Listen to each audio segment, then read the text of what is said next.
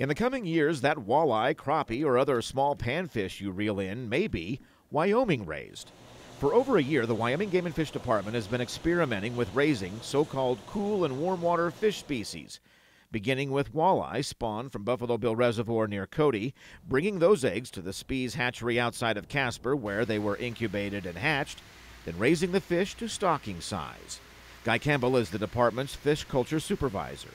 We put them in circular tanks inside a building and raise those fish all the way up until release. Typically with walleye, those fish are raised in earthen ponds, raised on natural forage. You harvest those fish and stock them. So we tried something that the folks in research have done at Iowa State University and Wisconsin Stevens Point.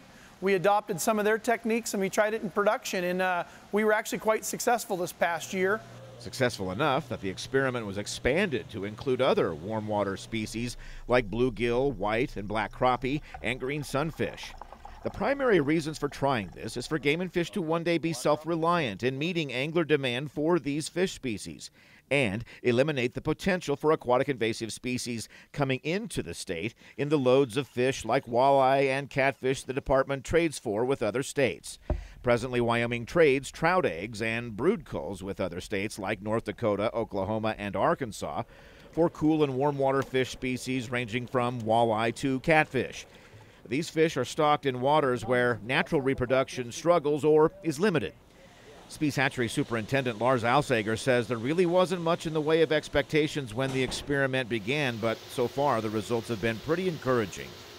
We had unbelievable success. You know, we saw su survival rates over 75% all the way through the entire trial, and that matches or is better than what we're what they're seeing even in a real lab setting. And so we've had really good success with the walleye program.